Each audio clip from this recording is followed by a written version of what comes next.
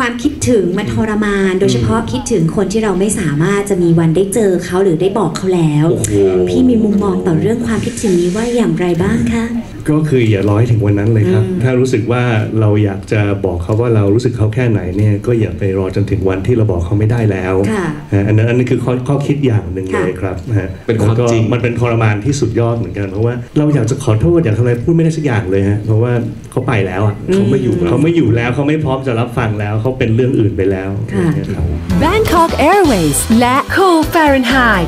93 presents Love Laugh Cry with Nine Men เสาร์ที่ 3 กันยายน Impact Arena เมืองทองธานี จำหน่ายบัตรที่ไทยทิกเก็ตเมเจอร์